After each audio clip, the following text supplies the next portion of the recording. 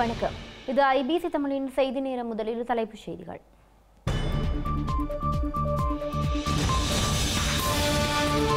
தமிழ் பொது வேட்பாளராக அரியநேத்திரன் அல்லது சட்டவாளர் தவராஜா அறிவிக்கப்படும் வாய்ப்பு.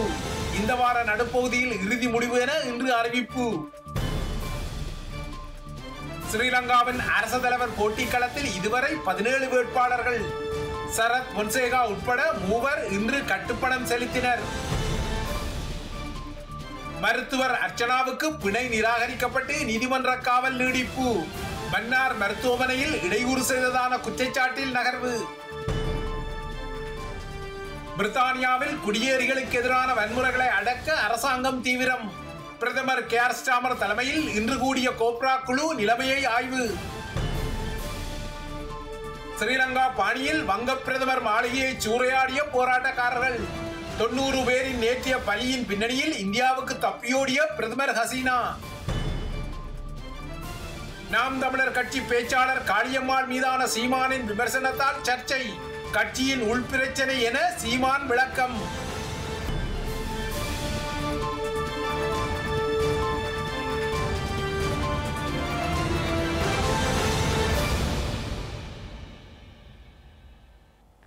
தொடர்வது விரிவான செய்திகள். ஸ்ரீலங்காவில் இந்த முறை இடம்பெறும் அரசு தலைவர் தேர்தலில் அதிகளவு வேட்பாளர்கள் போட்டியிடும் நிலைமை உருவாகும் ஆதாரங்கள் தெளிவாக வெளிப்பட்டுள்ளன. இன்று ஸ்ரீலங்காவின் முன்னாள் படைத்தளபதி சரத் பொன்சேகா உட்பட மூன்று வேட்பாளர்கள் தமக்குரிய கட்டுப்பணத்தை செலுத்தியுள்ளனர். இதன் அடிப்படையில் இதுவரை கட்டுப்பணத்தை செலுத்திய வேட்பாளர்களின் எண்ணிக்கை பதினேழாக உயர்வடைந்துள்ளது.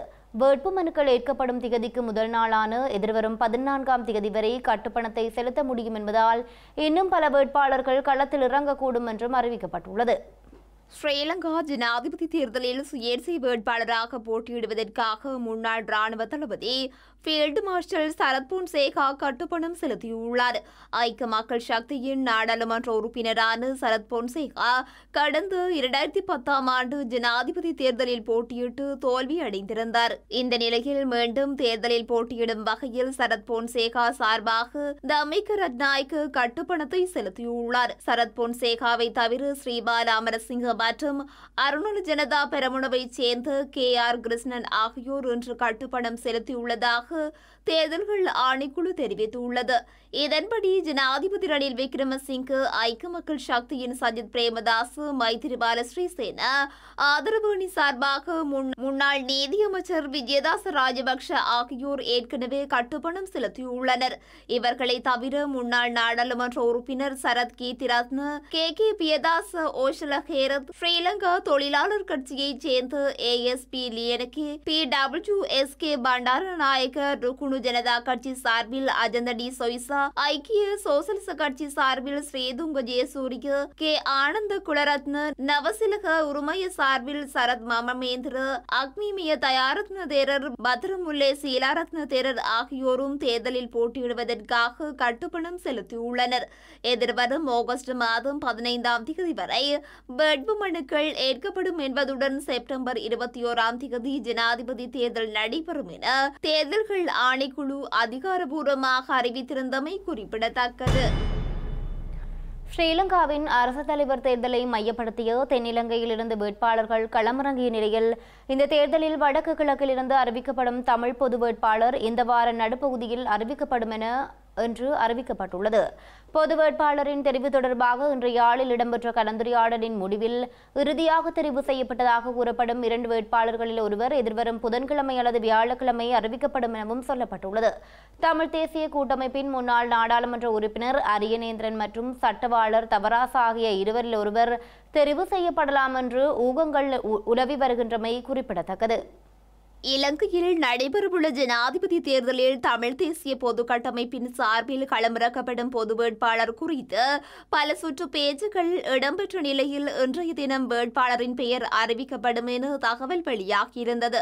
யாழ்ப்பாணத்தில் இன்று கூடிய தமிழ் தேசிய பொது கட்டமைப்பு தமிழ் பொது வேட்பாளரை இறுதி செய்யும் கலந்துரையாடல்களில் ஈடுபட்டது. தமிழ் பொது வேட்பாளராக களமிறக்குவதற்கு பரிந்துரைக்கப்பட்டவர்களில் இருந்து ஒருவரை தெரிவு செய்வதற்காக பல மணி நேரம் விதமாக ஆலோசனை நடத்திய போதும் பொது வேட்பாளரை இறுதி செய்ய முடியவில்லை என அறிவிக்கப்பட்டுள்ளது. பொது வேட்பாளர் பட்டியலில் முன்னாள் நாடாளுமன்ற உறுப்பினர்களான சந்திரநேரு சந்திரகாந்தன் ப. அரியநேந்திரன் தமிழரசு கட்சியின் மத்திய குழு உறுப்பினர் கே. வி. தவராசா மற்றும் நாடாளுமன்ற உறுப்பினர் சி. வி. விக்னேஸ்வரன் ஆகியோர் இடம்பெற்றிருந்தனர்.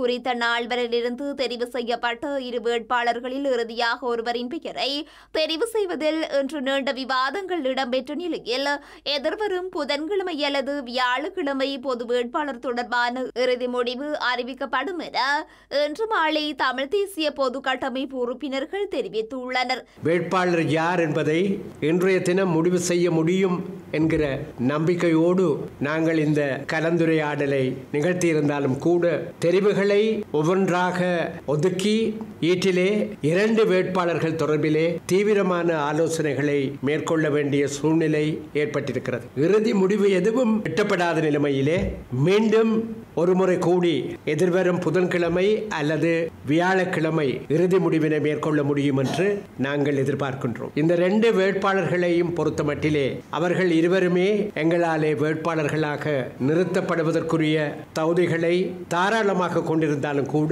பல்வேறு அரசியல் காரணிகளையும் காரணங்களையும் ஆழமாக பரிசீலித்து உகந்த ஒரு முடிவினை திட்டவட்டமாக எடுக்க வேண்டிய நிலைமை எங்களுக்கு இருக்கின்றது. அந்த வகையிலே எங்களுடைய வேட்பாளர் யார் என்பதை எமது மக்களுக்கு எதிர்வரும் புதன்கிழமை தவறினால் வியாழக்கிழமை நாங்கள் பகிரங்கமாக அறிவிப்போம். அதுவரையிலே எங்களுடைய கலந்தாலோசனைகள் உள்ளக ரீதியாக தொடர்ந்து இடம்பெறும். அத்துடன் எங்களுடைய தேர்தல் விஞ்ஞாபனம் தொடர்பிலும் தேர்தல் நடவடிக்கைகளுக்காக முன்னெடுக்க வேண்டிய அவசரமான அவசியமான விடயங்கள் தொடர்பிலும் இன்று நாங்கள் விவாதித்திருக்கிறோம். எதிர்வரும் ஜனாதிபதி தேர்தலில் நாங்கள் நிறுத்தப் போகிற தமிழ் பொது வேட்பாளர் தமிழ் மக்களுடைய ஆதரவினை அமோகமாக பெற்றுக்கொள்வதற்கு ஏதுவான சகல நடவடிக்கைகளையும் நாங்கள் ஒழுங்காக மேற்கொள்ள முடியும் என்று தீவிரமாக நம்புகின்றோம்.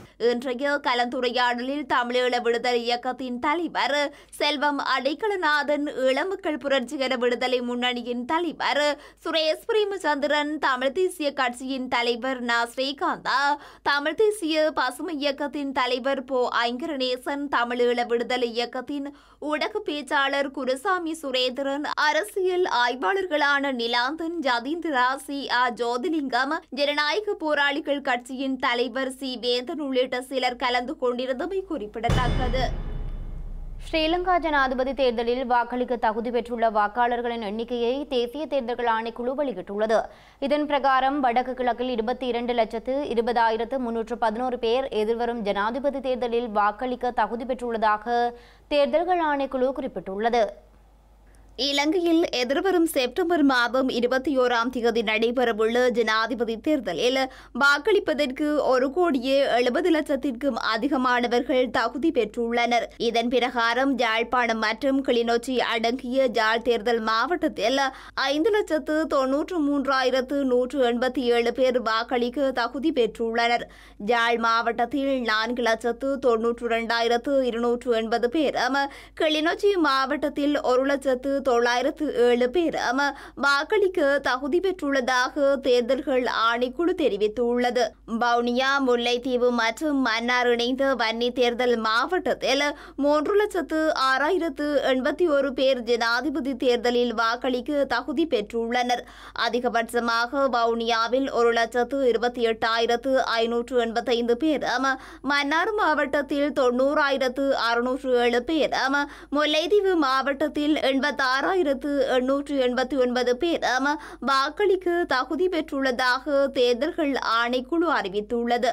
இதனை தவிர கிழக்கு மாகாணத்தில் வட்டக்களப்பு மாவட்டத்தில் நான்கு லட்சத்து நாற்பத்தி ஒன்பதாயிரத்து அறுநூற்று எண்பத்தி ஆறு பேரும் அம்பாரியை உள்ளடக்கிய திகாமடுள்ள மாவட்டத்தில் ஐந்து லட்சத்து ஐம்பத்தி ஐயாயிரத்து நானூற்று முப்பத்தி ரெண்டு பேரும் திருகோணமலை மாவட்டத்தில் மூன்று லட்சத்து பதினையாயிரத்து தொள்ளாயிரத்து இருபத்தி ஐந்து பேரும் வாக்களி வாக்களிக்க தகுதி பெற்றுள்ளனர். இலங்கையில் ஜனாதிபதி தேர்தலுக்கான தபால் மூல வாக்களிப்புகளுக்கான விண்ணப்பங்களை ஏற்றுக்கொள்வதற்கான கால அவகாசம் நீடிக்கப்பட்டுள்ளது.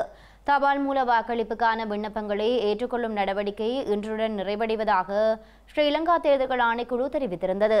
எனினும் தபால் மூல விண்ணப்பங்களை ஏற்றுக்கொள்வதில் காணப்பட்ட தாமதங்கள் காரணமாக எதிர்வரும் ஒன்பதாம் தேதி நள்ளிரவு வரை விண்ணப்பங்கள் ஏற்றுக்கொள்ளப்படும் என்றும் அறிவிக்கப்பட்டுள்ளது. இலங்கையில் நடைபெறவுள்ள ஜனாதிபதி தேர்தலில் ஸ்ரீலங்கா ஜனாதிபதி ரணில் விக்ரமசிங்கவின் வெற்றியை உறுதி செய்வதாக கம்பகா மாவட்டத்தை பிரதிநிதித்துவப்படுத்தும் ஸ்ரீலங்கா பொதுஜன பெரமுனவின் நாடாளுமன்ற மாகாண சபை மற்றும் உள்ளூராட்சி உறுப்பினர்கள் உறுதியளித்துள்ளனர். ஸ்ரீலங்கா நகர அபிவிருத்தி மற்றும் வீடமைப்பு அமைச்சர் பிரசன்ன ரணதுங்கவின் உடுகம்புல அலுவலகத்தில் நேற்று நடைபெற்ற ஸ்ரீலங்கா பொதுஜன பெரமுனவின் மாவட்ட சபை கூட்டத்தில் இந்த குழு இந்த உறுதிமொழியை வழங்கியுள்ளது. கம்பகாவில் நடைபெற்ற நேற்றைய மாவட்ட சபை கூட்டத்தில் அமைச்சர் பிரசன்ன ரணத்துங்க மிலான் ஜெயதிலக்க சகன் பிரதீப் விதான கோகிலா ஹர்ஷனி குணவர்த்தன ஒபுல் மகேந்திர ராஜபக்ச சிசிர ஜாய்கொடி உள்ளிட்ட நாடாளுமன்ற உறுப்பினர்கள் கலந்து கொண்டனர். மேலும் கம்பகா மாவட்டத்தின் பதினாறு முன்னாள் மாகாண சபை உறுப்பினர்களில் பதிமூன்று பேரும் உள்ளூராட்சி நிறுவனங்களை பிரதித்துவப்படுத்த முன்னூற்று ஐம்பது முன்னாள் உறுப்பினர்களும் கலந்து கொண்டனர். அத்துடன் கம்பகா மாவட்டத்தில் உள்ள உள்ளூராட்சி மன்றங்கள் மற்றும் மாநகர சபைகளின் முன்னாள் உப தலைவர்கள் மற்றும் பெரும்பான்மை உறுப்பினர்களின் ஆதரவை ஜனாதிபதி ரணில் விக்ரமசிங்க பெற்றுள்ளார். இதேவேளை அமைச்சர் பிரசன்ன ரணத்துங்க தலைமையில் நடைபெற்ற மாவட்ட சபை கூட்டத்தில் கட்டுநாயக்க சீதுவ நகரசபையின் முன்னாள் தலைவர் சமில் நிசாந்த உட்பட சுமார் பத்து உள்ளூராட்சி மன்ற உறுப்பினர்கள் வந்து ஜனாதிபதியின் வெற்றியை உறுதிப்படுத்த அவருக்கு ஆதரவு வழங்கியுள்ளனர்.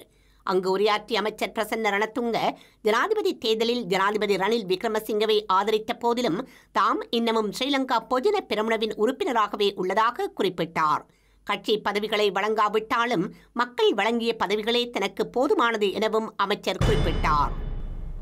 ஸ்ரீலங்கா பொதுஜன பிரமுனவின் தலைமை பதவிக்கு வர வேண்டும் என்ற அவசரம் மற்றும் ஆசை கட்சியின் தற்போதைய தேசிய அமைப்பாளர் நாமல் ராஜபக்ஷவுக்கு வந்துள்ளதாக அந்த கட்சியின் நாடாளுமன்ற உறுப்பினர் எஸ் எம் சந்திரசேன தெரிவித்துள்ளார். நாமல் ராஜபக்ஷவின் இந்த பதவி ஆசையால் கட்சி அழியப் போவதாக எஸ் எம் சந்திரசேன எச்சரித்துள்ளார். ஸ்ரீலங்காவின் ஜனாதிபதியாக மஹிந்த ராஜபக்சவை நியமிக்க கடந்த இரண்டாயிரத்து ஐந்தாம் ஆண்டு சந்திரிகா மறுத்தபோது அதற்கு எதிராகவும் மஹிந்தவுக்கு ஆதரவாகவும் தான் செயற்பட்டதாக பொதுஜன பெருமுனவின் நாடாளுமன்ற உறுப்பினர் எஸ் எம் சந்திரசேன தெரிவித்துள்ளார். இதற்கமைய கடந்த இரண்டாயிரத்து ஐந்தாம் ஆண்டு முதல் தான் மஹிந்த ராஜபக்சவுக்கு உதவி வருவதாக அவர் கூறியுள்ளார். இந்த நிலையில் தற்போது ஸ்ரீலங்கா ஜனாதிபதி ரணில் விக்ரமசிங்கவுக்கு ஆதரவளிக்க வேண்டும் என அனுராதபுரம் மாவட்ட மக்கள் தன்னிடம் கோரியதாகவும் மக்கள் பிரதிநிதி எனும் வகையில் தான் ரணிலுக்கு ஆதரவளிக்க தீர்மானித்ததாகவும் அவர் குறிப்பிட்டுள்ளார். அத்துடன் அனுராதபுரத்தில் தனது தலைமைத்துவத்திற்கு நாமல் ராஜபக்சவால் சவால் விடுக்க முடியாது எனவும் அவர் மேற்கொண்டுள்ள முடிவை மாற்றி ரணில் விக்ரமசிங்கவுக்கு ஆதரவளிக்க முன்வர வேண்டும் எனவும் எஸ் எம் சந்திரசேன தெரிவித்துள்ளார். நாமல் ராஜபக்ச போன்றவர்களின் தவறால் காலிமுகத்திரல் போராட்டத்தின் போது தமது வீடுகள் தீக்கிரியாகியதாக அவர் குற்றம் சாட்டியுள்ளார். மேலும் தலைமைத்துவ பதவிக்கு வர வேண்டும் என்ற அவசரம் நாமல் ராஜபக்சவுக்கு ஏற்பட்டுள்ளதாகவும் அவரது அவசரத்தால் கட்சி அழியப் போவதாகவும் எஸ். எம். சந்திரசேன எச்சரித்துள்ளார்.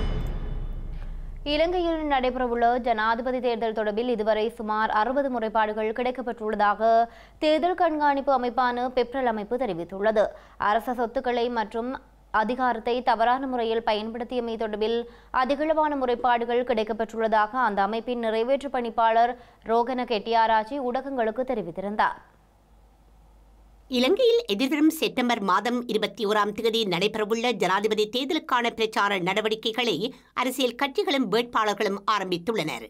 இந்த நிலையில் தேர்தல் சட்டங்களை ஜனாதிபதி வேட்பாளர்களும் அரசியல் கட்சிகளும் உரிய முறையில் கடைபிடிக்க வேண்டுமென ஸ்ரீலங்கா தேர்தல்கள் ஆணைக்குழு மற்றும் மனித உரிமைகள் ஆணைக்குழு ஆகியன அறிவுறுத்தியிருந்தன. எனினும் தேர்தல் சட்டங்கள் தொடர்ந்து மீறப்பட்டு வருவதாக பெப்ரல் அமைப்பின் நிறைவேற்று பணிப்பாளர் ரோகண ஹெட்டியாராச்சி தெரிவித்துள்ளார். தனி நபர்களால் இவ்வாறாக சட்டங்கள் மீறப்பட்டாலும் குறித்த நடவடிக்கை முழு சமூகத்தையும் பாதிப்படையச் செய்வதாக அவர் சுட்டிக்காட்டியுள்ளார். அத்துடன் உள்ளூராட்சி மன்ற தேர்தலில் களமிறங்கவிருந்த தரப்பினர் தேர்தல் ஒத்திவைக்கப்பட்டதன் பின்னர் மீண்டும் அவர்களது சேவைகளுக்கு திரும்பியிருந்த நிலையில் தற்போது அவர்கள் ஜனாதிபதி தேர்தல் பிரச்சார நடவடிக்கைகளில் ஈடுபடுவது தேர்தல் சட்டங்களை மீறும் நடவடிக்கை என அவர் கூறியுள்ளார். இவ்வாறான நடவடிக்கைகளின் மூலம் ஜனாதிபதி வேட்பாளர் ஒருவர் வெற்றி அடைந்தாலும் எதிர்காலத்தில் அது அவர்களுக்கு பல்வேறு விதமான பிரச்சனைகளை ஏற்படுத்தும் என ரோகண ஹெட்டியாராச்சி எச்சரித்துள்ளார். இதனால் தேர்தல் பிரச்சார நடவடிக்கைகளின் போது சட்டத்தை மீறி யாரும் செயற்படக்கூடாதெனவும் அரச சொத்துக்களை தவறான முறையில் பயன்படுத்த யாரும் நடவடிக்கை எடுக்கக்கூடாதெனவும் அவர் அறிவுறுத்தியுள்ளார். மன்னார் பொது வைத்தியசாலையில் கடந்த வெள்ளிக்கிழமை இரவு அனுமதியின்றி நுழைந்த பெண்கள் மகப்பேற்று விடுதிக்குள் பணியாற்றிய வைத்தியருக்கு இடையூறு விளைவித்ததான குற்றச்சாட்டில் தடுத்து வைக்கப்பட்டுள்ள மருத்துவர் அர்ச்சுனாவுக்கு இன்று பிணை மறுக்கப்பட்டு நீதிமன்ற காவல் நீடிக்கப்பட்டுள்ளது. இன்று மன்னார் நீதிமன்றத்தில் குவிந்த அரசு வைத்திய அதிகாரிகள் சங்க தரப்பு சட்டவாளர்கள் இருபத்தி இரண்டு பேரும் அர்ச்சுனாவை பிணையில் விடுவிக்க எதிர்ப்பு தெரிவித்ததாகவும் குறிப்பிடப்படுகின்றது.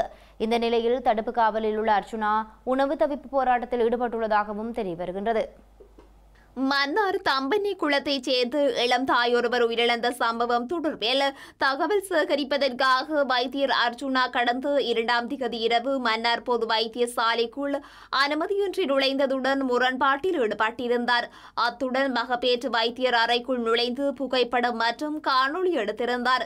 இது தொடர்பாக மன்னார் வைத்தியசாலை நிர்வாகத்தினால் மன்னார் காவல் நிலையத்தில் மேற்கொள்ளப்பட்ட முறைப்பாட்டை தொடர்ந்து கடந்த மூன்றாம் திகதி காலை வைத்தியர் அர்ஜுனா மன்னர் காவல்துறையினரால் கைது செய்யப்பட்டிருந்தார். இதனைத் தொடர்ந்து வைத்தியரை மன்னார் நீதவான் நீதிமன்றில் முன்னிலைப்படுத்திய நிலையில் எதிர்வரும் ஏழாம் திகதி வரை விளக்குமறியலில் வைக்கப்பட்டிருந்தார்.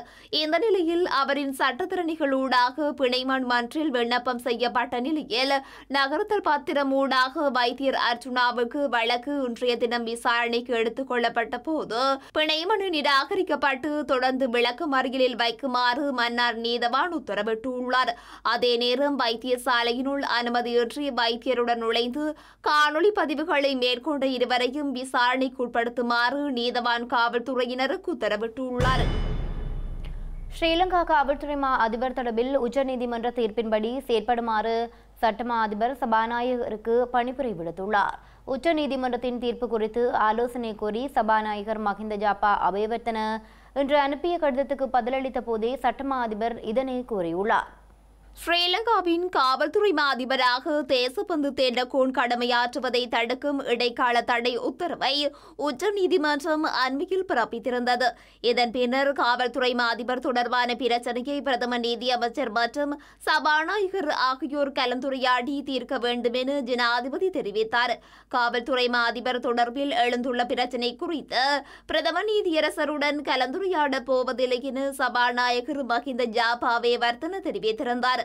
பிரதம நீதியரசருடன் இதுபோன்ற கலந்துரையாடல்களை மேற்கொள்வதற்கு எந்தவொரு சட்ட அடிப்படையும் இல்லை எனவும் அவர் குறிப்பிட்டிருந்தார். இந்த நிலையில் உச்சநீதிமன்றத்தின் தேர்வு குறித்து ஆலோசனை கேட்டு சட்டமா அதிபருக்கு சபாநாயகர் மஹிந்த ஜாப அவேவர்த்தன கடிதம் அனுப்பியிருந்தார். அந்த வகையில் உச்சநீதிமன்றத்தின் தீர்ப்பின்படி செயற்படுமாறு அறிவுறுத்தியுள்ள சட்டமா அதிபர் திணைக்களம் சபாநாயகரால் மேற்கொள்ளப்பட்ட விசாரணை தொடர்பான நீண்ட ஆலோசனை அறிக்கையை அனு அனுப்ப நடவடிக்கை எடுத்துள்ளதாக தெரிவித்துள்ளது. தமிழ் மக்களின் வாக்குகளை பெற்றுக்கொள்ள வேண்டும் என்பதற்காகவே பொய்யான கருத்துக்களை நாடாளுமன்ற உறுப்பினர் ரா சாணக்கியன் மக்கள் மத்தியில் தெரிவித்து வருவதாக ஸ்ரீலங்கா ராஜாங்க அமைச்சர் சதாசிவம் வியாழேந்திரன் குற்றம் சாட்டியுள்ளார். லஞ்சம் வாங்கிய குற்றச்சாட்டில் ராஜாங்க அமைச்சர் வியாழேந்திரனின் பிரத்யேக செயலாளர் மற்றும் கட்சி இணைப்பாளர் இருவர் கைது செய்யப்பட்டு விளக்கமறியலில் வைக்கப்பட்டுள்ளனர். எனினும் தம்முடைய செயலாளர் எந்தவிதமான குற்றங்களையும் செய்யவில்லை என்றும் அவர் நிருபராதி என்றும் இன்று காலை மட்டு ஊடக அமையத்தில் நடைபெற்ற ஊடகவியலாளர் சந்திப்பில் அவர் கூறியுள்ளார்.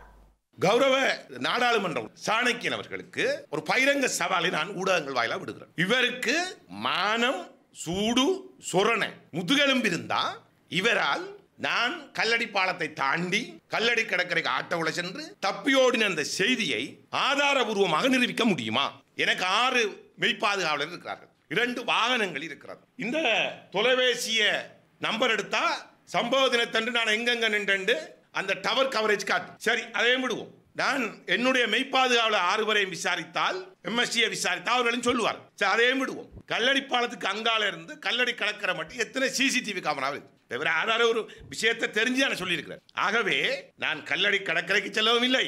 அங்கு தப்பியோடவும் இல்லை. இருந்தும் ஒரு பொது வழியிலே ஒரு அப்பட்டமான பொய்யை மக்கள் மத்தியிலே கட்டவிழ்த்து விட்டிருக்கின்றார். ஆனால் இவரை பார்த்து கேட்கின்றேன். இதை இவர் நிரூபிப்பார் என்றால் நான் இருபத்தி நாலு மணத்தியாலத்தில் அரசியல் ஒதுங்குவேன். கல்லடி கடற்கரைக்கு சென்று ஆட்டோவில் தப்பி ஓடுனதை நிரூபிப்பார் என்றால் இருபத்தி நாலு மணத்தியாலத்தில் அரசியல் ஒதுங்குவேன். நான் ஒரு தாய் தகப்பனுக்கு பிறக்கலன்றதை ஒத்துக்கொள்றேன். பகிரங்கமாக தான் பேசுறேன். அப்படி இவர் நிரூபிக்காவிட்டால் ஒரு ரோஷமுள்ள மானமுள்ள ஒருவராக இருந்தால் இவர் இருபத்தி நாலு மணத்தியாலத்திலிருந்து அரசியலில் ஒதுங்க முடியுமா? என்னுடைய செயலாளர் கைசப்பட்டபடி விசாரணைக்காக அழைத்து செல்லப்பட்டார். சிசிடிவி புட்டேஜ் இருக்கிறது. விசாரணைக்கு அழைத்து செல்லப்பட்டார். கைநட்டி எந்த பணமும் வாங்கவில்லை தான் சொல்லி அவர் நூறு வீதம் இல்ல இருநூறு வீதம் நிரபராதி அவர் நிச்சயமாக அவர் இந்த இதில் சம்மந்தப்படலை இருந்தும் இன்று சில சமூக வலைத்தளங்களிலே ஏன் இந்த சாணக்கியம் போன்றவர்களும் பேசுகிறார். அவர் நிரபராதி என்பது நிரூபிக்கப்படும் பொழுதோ நான் பகிரங்கமாக கேட்கிறேன். இந்த சாணக்கியம் உட்பட்டவர்கள் வேட்டிய கழட்டி தலையில கொடுத்து போவார்களா? இலங்கையில் வெப்பச்சலனம் மற்றும் காற்று வேக மாறுபாடு காரணமாக எதிர்வரும் பதினான்காம் தேதி முதல் வடக்கு மற்றும் கிழக்கு மாகாணங்களின் பல பகுதிகளிலும் மிதமான முதல் கடினமா கனமானதுமான வரை மழை கிடைக்கும் வாய்ப்புள்ளதாக யாழ்ப்பாண பல்கலைக்கழக புவியத்துறை சிரேஷ்ட விரிவியலாளர் நாகமுத்து பிரதீபராஜா அறிவித்துள்ளார். அதே நேரம் வடக்கு கிழக்கு மாகாணங்களிலும் புலனர்வை மற்றும் பதுளை மாவட்டங்களிலும் பலத்த மின்னல் எச்சரிக்கை குறித்த அறிவிப்பு ஒன்றை ஸ்ரீலங்கா வளிமண்டலவியல் திணைக்களம் வெளியிட்டுள்ளது. முல்லைத்தீவு வவனியா மன்னார் மற்றும் திருகோணமலை மாவட்டங்கள் சற்று கனமான மழையை பெறும் வாய்ப்புள்ளது என்றும் இதனால் வடக்கு மற்றும் கிழக்கு மாகாணங்களில் நெல் மற்றும் சிறுதானிய பயிர்களை அறுவடை செய்பவர்கள் மழை தொடர்பில் அவதானமாக இருப்பது அவசியம் என்றும் யாழ்ப்பாண பல்கலைக்கழக புவியியல் துறை சிரேஷ்ட விரிவுரையாளர் நாகமுத்து பிரதீபராஜா அறிவித்துள்ளார். மேலும் வெப்பச்சலன செயற்பாடு காரணமாக மழை பெய்ய வாய்ப்புள்ளமையினால் இடிமின்னல் தொடர்பில் மிகவும் அவதானமாக இருப்பது அவசியம் என அவர் எச்சரித்துள்ளார். உள்ளில பகுதிகளில் கனமான மழை கிடைக்கும் வாய்ப்புள்ளதென அவர் கூறினார். இதேவேளை வடக்கு கிழக்கு மாகாணங்களிலும் புலனர்வ மற்றும் பதுளை மாவட்டங்களிலும் பலத்த மின்னல் எச்சரிக்கை குறித்த அறிவிப்பு ஒன்றை ஸ்ரீலங்கா வளிமண்டலவியல் திணைக்களம் விடுத்துள்ளது. குறித்த பகுதிகளில் மாலை அல்லது இரவு வேளைகளில் இடியுடன் கூடிய பலத்த மின்னலுடன் கூடிய பலத்த மழை பெய்யக்கூடிய சாத்தியம் காணப்படுவதாகவும் வளிமண்டலவியல் திணைக்களம் தெரிவித்துள்ளது. இதனால் பொதுமக்களை மிகுந்த அவதானத்துடன் செயற்படுமாறு அந்த திணைக்களம் கேட்டுக் கொண்டுள்ளது யாழ்ப்பாணம் மருதங்கேணி கிராம சேவகர் பிரிவில் உள்ள மூன்று கிராமங்களை இரண்டாக பிரிப்பதற்கு எதிர்ப்பு தெரிவித்து இன்றைய தினம் ஆர்ப்பாட்டம் ஒன்று முன்னெடுக்கப்பட்டுள்ளது. தாளியடி கிராமத்தில் கடல் நீரை குடிநீராக்கும் திட்டம் ஒன்று ஆரம்பிக்கப்பட்ட பின்னணியிலேயே கிராமங்களை பிரிக்க முற்படுவதாக அந்த மக்கள் குற்றம் சாட்டியுள்ளனர். யாழ்ப்பாணம் மருதங்கணி பிரதேச செயலகத்திற்குட்பட்ட மருதங்கேணி வடக்கு மருதங்கேணி தெற்கு தாளியடி ஆகிய மூன்று கிராமங்களும் ஒரே பிரிவாக மருதங்கணி கிராம சேவகர் பிரிவாகவே இயங்கி வந்துள்ளது. அவற்றுள் தாளியடி கிராமத்தை தனியான ஒரு கிராம சேவையாளர் பிரிவாக மாற்றுவதற்கு பிரதேச செயலாளர் எல்லை நிர்ணயம் செய்யப்பட்டுள்ளது. குறித்த செயற்பாட்டை எதிர்த்து குறித்த கிராம மக்களால் மருதங்கேணி பிரதேச செயலகத்திற்கு முன்பாக போராட்டம் ஒன்று முன்னெடுக்கப்பட்டுள்ளது. இது தொடர்பில் மக்களுக்கு கருத்து தெரிவித்து மருதங்கணி பிரதேச செயலாளர் கு. பிரபாகரமூர்த்தி கிராமங்களின் எல்லைகள் தொடர்பான கடிதம் ஒன்றினை வடமாகாண ஆளுநரின் விளக்கத்திற்காக அனுப்பி வைத்துள்ளதாக தெரிவித்துள்ளார். எனினும் எல்லை தொடர்பான விடயங்கள் மக்களின் கருத்துக்களை கேட்டு நிர்ணயிக்கப்படும் எனவும் அவர் தெரிவித்துள்ளார்.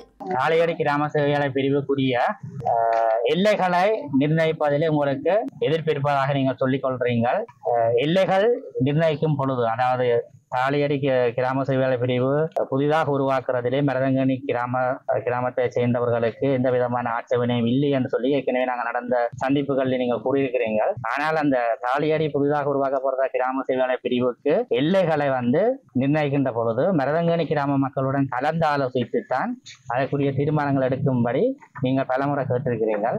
உண்மையில அந்த தாலியடி கிராம சேவையாளர் பிரிவினை உருவாக்குவதற்கு முதல்ல கெசட் பண்ண வேணும். அந்த கெசட் பண்ணுவதற்கு எல்லைகளை போட்டுத்தான் நாங்கள் கெசட் பண்ண வேணும் அதற்காகத்தான் நாங்கள் அனுப்பியிருக்கின்றோம். அதிலே தாலியடிக்குரிய எல்லையாக மேற்கு பக்கம் மணல்காடு என்றுதான் போடப்பட்டது. இது வட்டார எல்லைகளாக முதல் கெசட் பண்ணி பிரதேச சபையால் வெளியிட்ட அந்த எல்லைகளை தான் நாங்கள் போட்டிருக்கின்றோம்.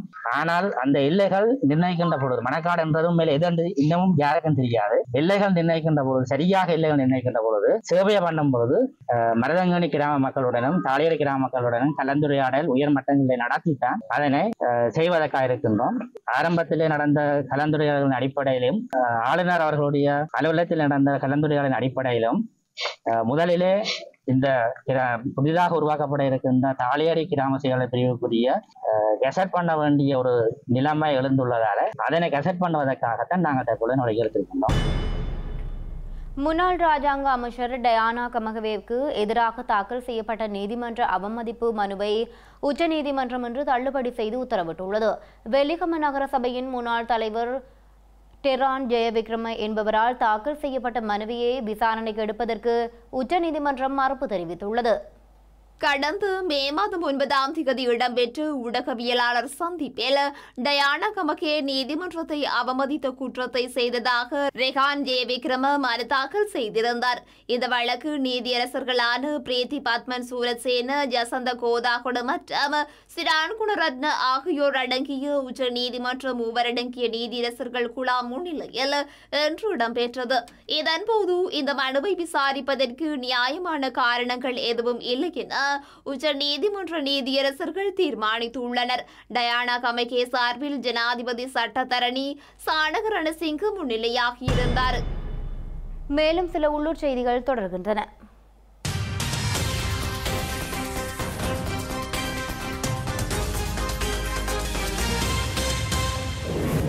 குற்றச்செயலினை மேற்கொள்வதற்காக பற்றைக்குள் மறைத்து வைக்கப்பட்டிருந்த மூன்று வாள்கள் காலணிகள் முகமூடிகள் மற்றும் மேலங்கிகள் என்பன யாழ்ப்பாணத்தில் மீட்கப்பட்டுள்ளன. ஏழாலை மேற்கு ஏழாலை புளியங்கிணற்றடி இடத்தில் உள்ள பற்றைகளிலிருந்து குறித்த பொருட்கள் மீட்கப்பட்டுள்ளன. சுண்ணாகம் காவல்துறையினருக்கு கிடைக்கப்பெற்ற ரகசிய தகவலின் அடிப்படையில் குறித்த கைது நடவடிக்கை முன்னெடுக்கப்பட்டுள்ளது. கனடாவில் வேலைவாய்ப்பு பெற்றுத் தருவதாக கூறி பண மோசடி செய்ததாக கூறப்படும் சந்தேக நபர் ஒருவர் இலங்கை வெளிநாட்டு வேலைவாய்ப்பு பணியகத்தின் விசேட புலனாய்வு பிரிவினரால் கைது செய்யப்பட்டுள்ளார். கைது செய்யப்பட்ட சந்தேக நபர் பல மில்லியன் ரூபாய் மோசடி செய்துள்ளதாக விசாரணையில் தெரிய வந்துள்ளது. வெளிநாட்டில் வேலைவாய்ப்பு பெற்றுத் தருவதாக கூறி மோசடிகளில் ஈடுபடும் நபர்கள் தொடர்பில் ஏதேனும் தகவல்கள் கிடைத்தால் இலங்கை வெளிநாட்டு வேலைவாய்ப்பு பணியகத்தின் ஒன்று ஒன்பது எட்டு ஒன்பது என்ற அவசர தொலைபேசி இலக்கத்துடன் தொடர்பு கொண்டு தகவல் வழங்க முடியும் எனவும் அறிவிக்கப்பட்டுள்ளது.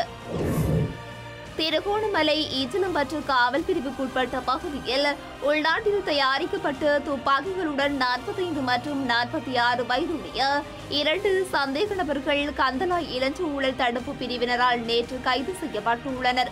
குறித்த சந்தேக நபர்களிடமிருந்து உள்நாட்டில் தயாரிக்கப்பட்டு இரண்டு துப்பாக்கிகளும் கைப்பற்றப்பட்டுள்ளன. கந்தலா இளஞ்சூழல் தடுப்பு பிரிவினருக்கு கிடைக்கப்பட்ட ரகசிய தகவலின் அடிப்படையில் குறித்து சந்தேக நபர்கள் கைது செய்யப்பட்டுள்ளனர். வர்த்தகர் ஒருவர் முப்பத்தி இரண்டு லட்சத்து நாற்பதாயிரம் ரூபாய் பெறுமதியான வெளிநாட்டு சிகரெட்டுகளுடன் கட்டுநாய்க்கு விமான நிலையத்தில் வைத்து விமான நிலைய காவல்துறை போதைப்பொருள் தடுப்பு பிரிவினரால் கைது செய்யப்பட்டுள்ளார்.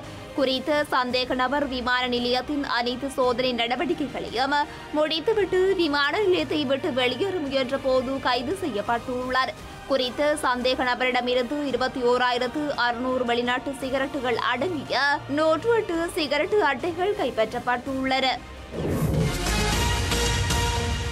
செய்திகளின் நிறைவாக இனி மீண்டும் தலைப்புச் செய்திகள்.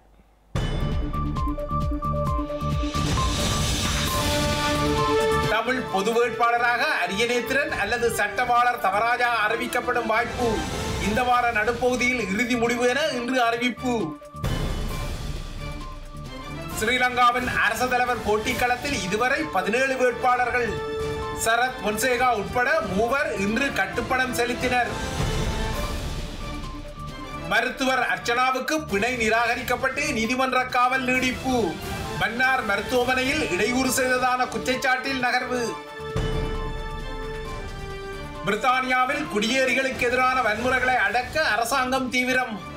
பிரதமர் கேர் ஸ்டாமர் தலைமையில் இன்று கூடிய கோப்ரா குழு நிலைமையை ஆய்வு. ஸ்ரீலங்கா பாணியில் வங்க பிரதமர் மாளிகையை சூறையாடிய போராட்டக்காரர்கள். தொண்ணூறு பேரின் நேற்றிய பலியின் பின்னணியில் இந்தியாவுக்கு தப்பியோடிய பிரதமர் ஹசீனா. நாம் தமிழர் கட்சி பேச்சாளர் காளியம்மாள் மீதான சீமானின் விமர்சனத்தால் சர்ச்சை கட்சியின் உள்பிரச்சனை என சீமான் விளக்கம்.